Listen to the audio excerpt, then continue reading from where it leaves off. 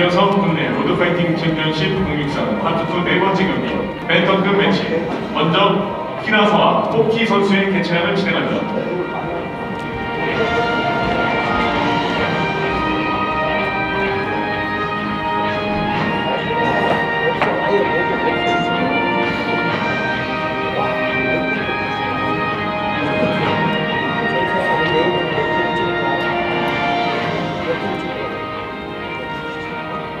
63.1 보고 키나사와 포키 선수는 63.2kg으로 개최량을 통과했습니다.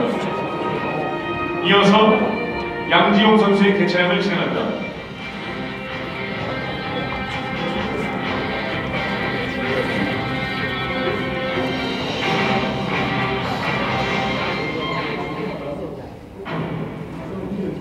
육십삼 점 사 통과. 양지용 선수는 63.4kg으로 개최량을 통과했습니다.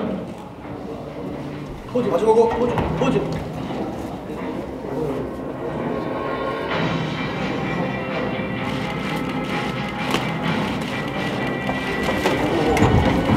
까지 그러면 진짜